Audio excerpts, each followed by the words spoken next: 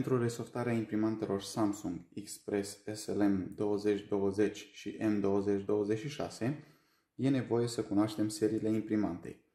Acestea se pot afla prin imprimarea rapoartelor Configuration și Supplies Information. Pentru a le printa, procedăm în felul următor. Dacă imprimanta este în standby, apăsăm butonul de Power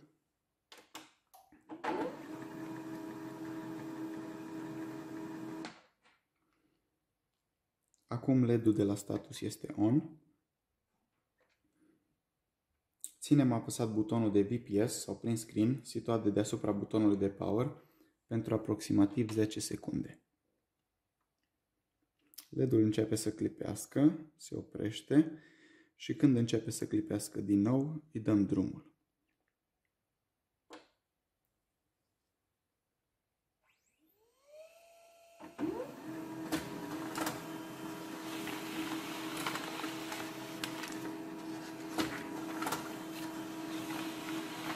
Acesta este raportul configuration.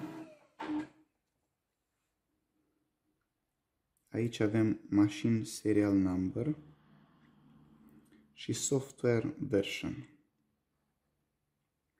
Și aici modelul imprimantei este un M2020W, e modelul wireless.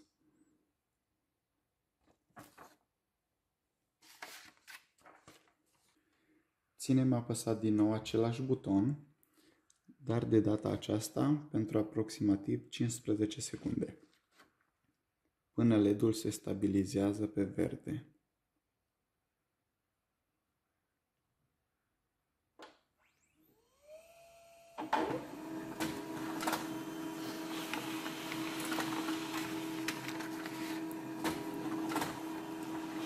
Acesta e raportul Supplies Information. De aici avem nevoie de seria Chrome.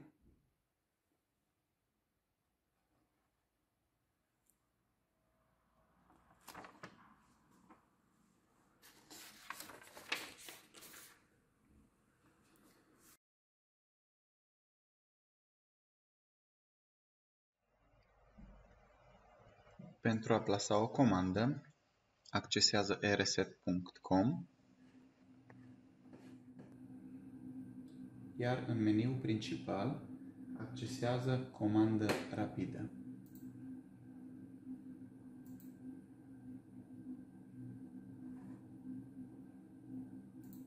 Introducem informațiile, model imprimantă, în cazul de față Samsung M20 26W,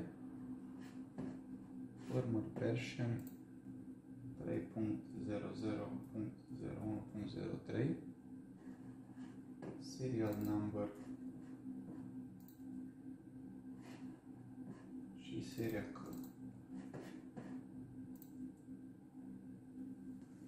Dacă dețineți un cartuș compatibil care la seria Chrome afișează Not Support sau nu afișează deloc seria Chrome, introduceți de 11 ori cifra 2.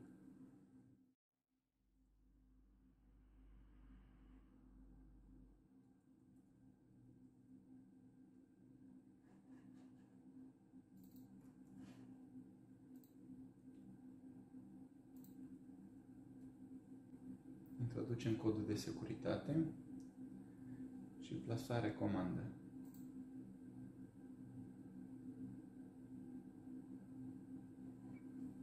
Comanda dumneavoastră a fost plasată cu succes. Veți primi pe e-mail o copie a datelor notate în comandă. Vom efectua verificarea seriilor din comandă și revenim cu detaliile de plată. După efectuarea plății, primiți pe e-mail o arhivă care conține programul de resoftare împreună cu instrucțiuni scrise, video și firmware original.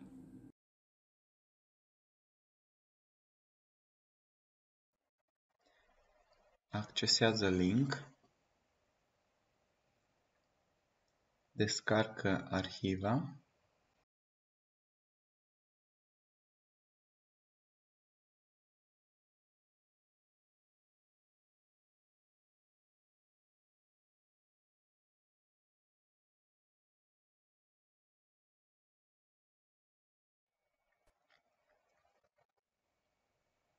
extrage arhiva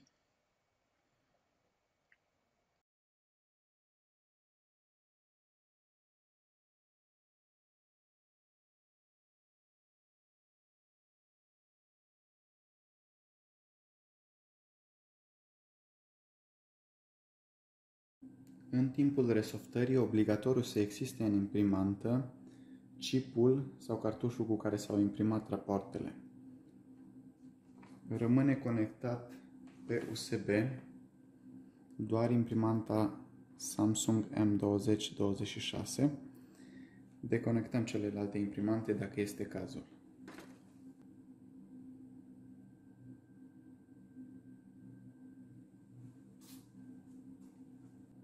Următorul pas este repornirea imprimantei în download mode.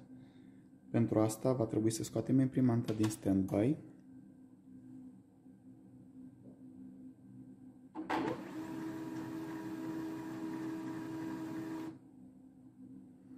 să o oprim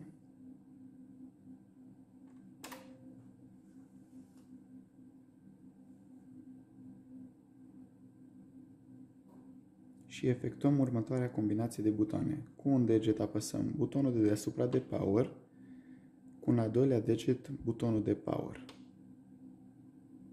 După 3 secunde eliberăm ambele degete, LED-ul de la status și LED-ul de sus rămân în portocaliu și celelalte două LED-uri în albastru. Imprimanta este în download mode acum.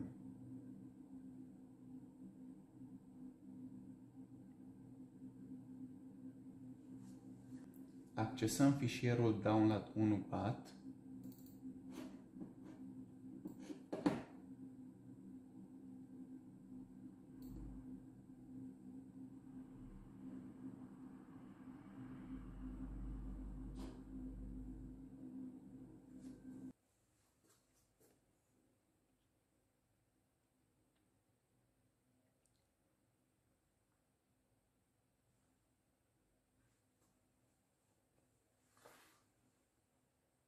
LED-ul de la status începe să clipească.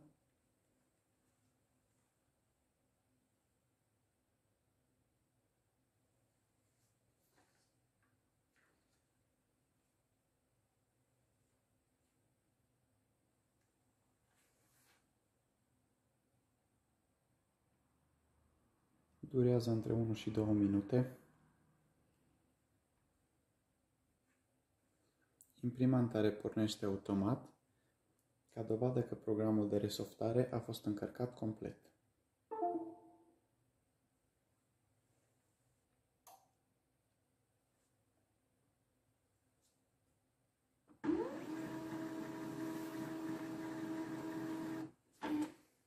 Scoatem cartușul.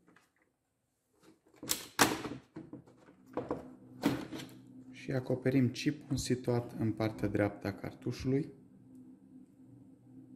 cel verde sau albastru cu patru contacte arămi. Doar chipul, nu și celelalte contacte de pe cartuș.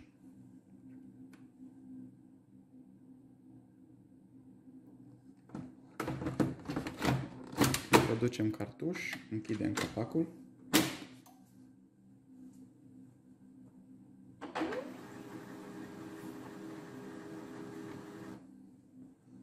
Imprimăm raportul Supplies Information pentru a verifica revenirea contoarelor la 100%.